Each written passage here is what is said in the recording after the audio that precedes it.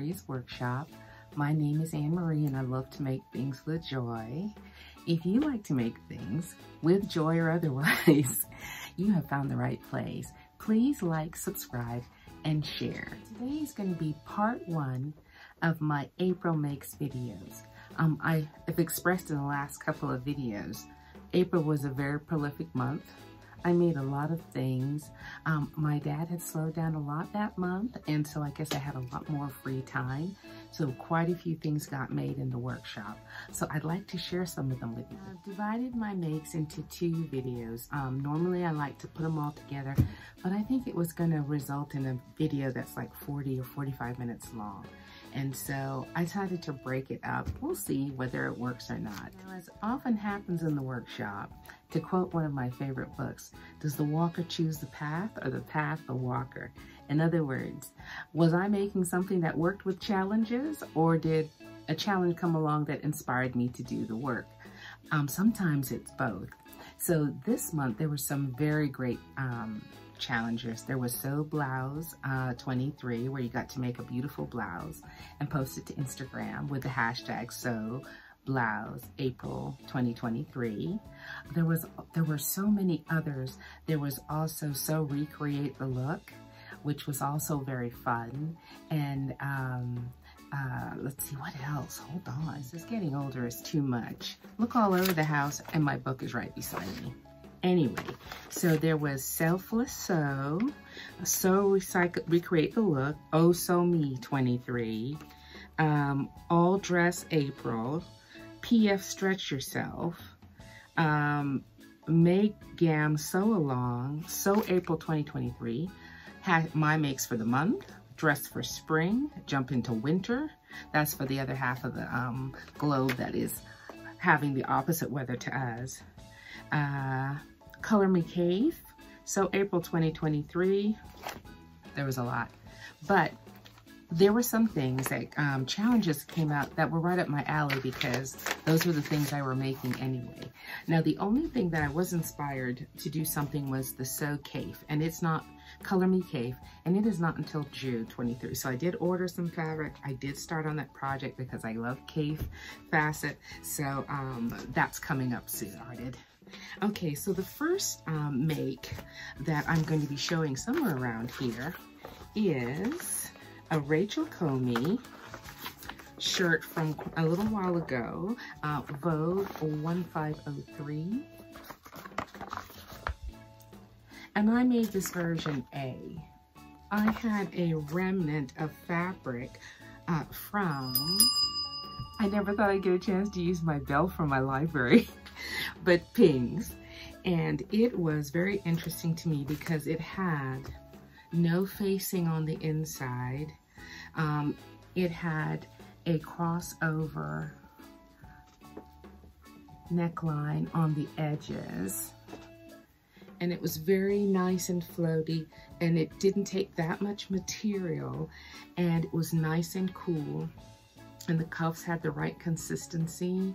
It's a really nice look for an apple-shaped woman. Hopefully you saw a picture of it over here. And I'm gonna get quite a bit of use from it because navy, navy's one of my colors, one of my um, basic colors.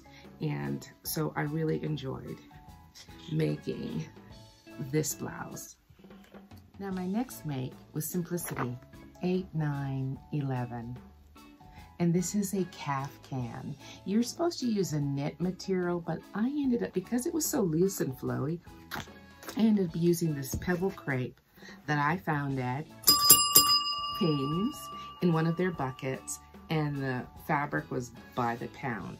Now, what's lovely about this um, is it is slim on the arm.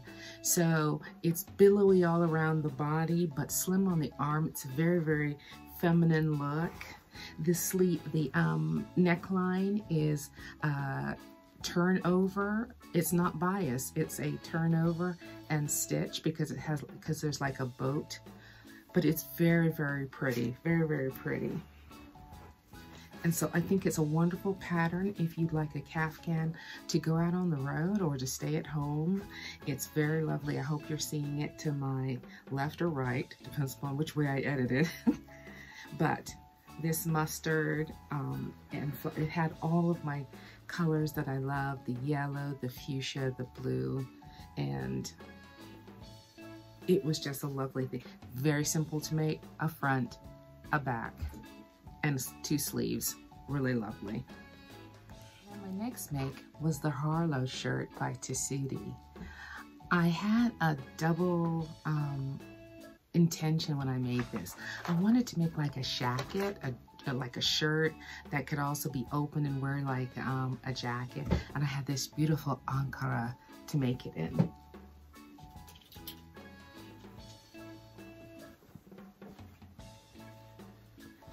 So this is the, um, the Harlow shirt. Hopefully I'm showing it somewhere around here. And it was so beautiful. It has an interesting detail on the bottom on how the edge, the front and the back are sewed together. And there's like a handkerchief kind of effect here with a pocket on top. And I just love how this pattern swirls around. It's super comfortable all right and so I'll show you the back. There's a um, seam in the back lovely yoke and it was just oh the Ankara just made it so lovely. I hope you try this pattern out. It's it's a real winner. It's a real winner.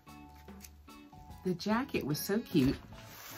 I decided to take my basic uh, Butterick 4552. This is one of the um, patterns that's in my favorites because without any adjustments, it works really, really well on me. So I made a pair of slacks that went along with it, which creates a really striking silhouette and I have a sparkly um, camisole, stretch camisole that goes underneath it that can make a whole vibe. But I think these pants can be worn with the, the blue, the black, the white, by itself or it can be put together as a set. It's a really nice, it's a very, very old pattern. I'm not exactly sure how old it is. Oh yeah, 2005. You might have to look for this on eBay or Etsy. Several patterns this month that were so much fun to make, kind of outside of the box, kind of unusual. And one of these is, let me find this, this Know Me pattern, color blocked opposites attract. I made the long version. I had this sparkly um, uh, Ankara with a foil overlay. And so I made this, um, I made the dress and I will show parts of it over here. And well, some of the best parts were these buttons from Hobby Lobby, the Sewology line. Um, I love the pockets. They are bucket, so they have like they pop off a bit. I decided to close mine. I don't want to encourage myself to put anything in them, but the bigger ones on the skirt, then they're really, really cute. Okay, now the only reservation I have is this is my first piece of foil Ankara. Um, but I highly suspect while I was working with them, I got a, a, nimbus, a nice glow of the sparkle on my hands. So it makes me think that eventually these colors are gonna go off. So I'm gonna try not to wash this too much, but I think she's really, really pretty. And um, she's not the only one I'm gonna make from this pattern. It's a lovely wrap dress. It's really simple um, to make. Um, if you know this next blouse is McCall's 7541. And it is a set of beautiful blouses that you can make that have a little of a cape in the back. And this is the blouse I entered it in the Sew April um, blouse 2023 uh, um, challenge and I won a prize three PDFs from the named pattern company which was a dilemma because I have so many of their patterns. So the three that they gifted me I had to really think what did I need? But I did find three really great patterns. And so I wanted to show you the anatomy of this because it is like there is a inner blouse and an overlay on the back. I don't know if I'm doing a great job of this, but the cape is like an overlay in the back of a regular shirt in the front. So there's a layer here and a layer in the front, singular. Hold on, I don't think I'm doing a good job. Hold on. There's an overlay in the front. There's an inner tank.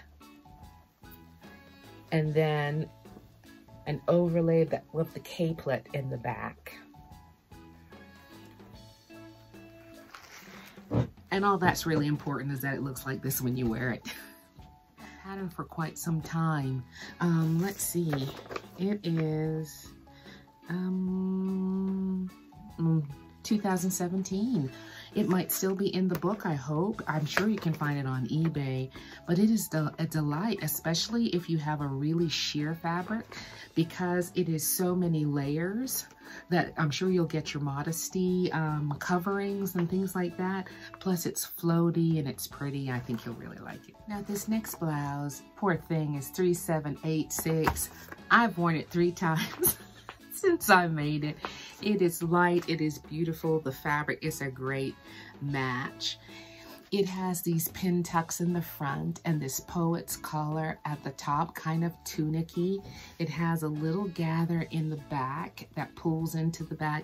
Even if you're apple shaped, it's very complimentary. It is a smash up.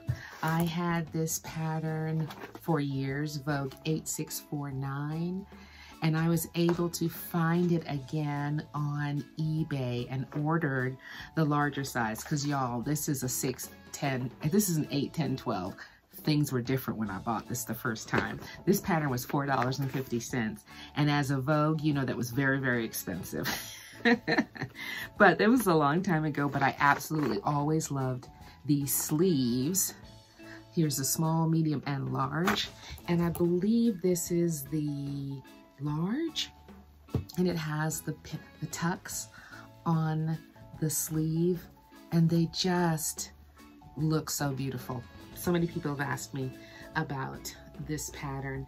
Um, um, it takes a little bit time to make, but you know, throw on a movie and take your time making the, it's worth it. I absolutely love this. It is not Iron Gel. I took it out of the uh, clean laundry, but she's a winner. I love her pattern for my next make. It is a knockoff of a uh, Jeremy Scott, I believe, um, teddy bear. It's a midi bomber jack um, hoodie. It doesn't, it comes just below the, the breast. It has these teddy bears on it. And if you want to know how I made it, you can go ahead and follow the video I did on them. I did a two-part video on them. So much fun to make so much fun to make. Um, I had to figure out how to make the little ears on the top of the hoodie. I think in the future, if I make this again, I will line the inside of the hoodie with some kind of interfacing or something, a thin batting to give it some more oomph. I didn't like, with because this is um, Lycra, um, I think it needed um, more oomph to it, but I like the I like the lining on the inside, the donuts. If you've watched the movie, it's not donuts. It's supposed to be bagels, but I couldn't find any bagel um, cloth at um, Hobby Lobby, so we went with we went with donuts. Alrighty, so it was so much fun to make. I enjoyed it so much, and my daughter-in-law can't wait to wear it at Halloween. these last two patterns are from Butterick 6465. It's a Connie Crawford. And it just may not look like a remarkable pattern, but it is a great staple because one of the things I love the most of it, I did it in this sheer aqua and brown, which I will show over here. Beautiful fabric, beautiful fabric. But my favorite part about this pattern is the cuff because the cuff is just the right size that it doesn't fall over your arm. you don't need a button or a placket. I really, really love this pattern. I love how it uh, fits over some of the my items that I have. But really, really, really, really nice. Fits very nice. Great on an apple shape. Or if you have a larger bust, this is a great pattern. So there were all kinds of um, uh, plan, uh, accommodations for uh, bust uh, bust darts and things like that. It goes all the way up to 6X. So that's a great pattern. I'm, it might still be in the pattern book. It's 2017. Seems to me that this would be a staple. I'm, I didn't check. If you'll check for me, let me know in the um, comments. But it was really nice. It had a lovely yoke in the back. I did not choose to put the pockets on it because they were sheer materials that I was working with. But I think that would be, um, I'm going to do this pattern again in a woven fabric and we'll see how that works out. So here is the other sheer because I was trying to clear out some fabrics that I've had for the longest time that I haven't done anything with. I had made a camisole out of this fabric um, a couple years ago, but I had a few yards left. I think this takes three yards, um, two, and, two and an eighth yards if it's 60 inch, or three yards um, if it's 45 inch, and that's plenty to make a really beautiful blouse. Once again, it has those cuffs that don't need a placket. And um, I, I settled on these buttons, but if I find a more decorative button along the way, I'll replace them. But I had to make do given where I am, the type of buttons. And I really need to see my buttons. You know, it's one thing to look online and kind of hope and pray, but um, it's really nice to be somewhere and like feel the button and see the weight and the color and the shape and everything like that. So this was the Connie Crawford uh, 6465. All right, everyone, that is half of them. There's more. oh, for the uh, for the teddy bear jacket, I used um, this Mimi G pattern 8228 to do um, the base. I used the hood from McCall's. Give me a minute. 7637 is where I grabbed the hoodie, the hoodie um, hood from. And the teddy bears, well, oh, wait. Which one did I use for the teddy bear? Oh, hold on, guys. One minute. Teddy bears were from um, Simplicities 8044. And I liked it. I liked the, um, these particular bears because they were two pieces, the front and the back. So um, it was easier for me to try and uh, morph them into what I needed for those um, jackets. Now, what you have looked forward to, I'm working on the elephants for my son's jacket. this retirement's getting out of hand. All right, keep making with joy, and we'll see you soon. The other half is coming soon.